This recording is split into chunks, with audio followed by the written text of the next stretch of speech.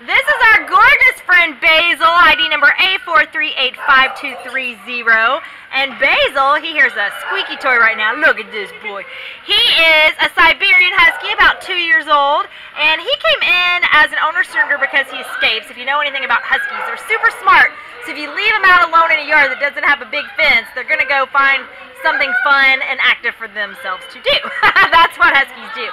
But um, as long as he's kept, you know, some active um, activities and stuff and some good walks and stuff, he would make a great dog. He's okay on leash. He could use a little bit of a refresher.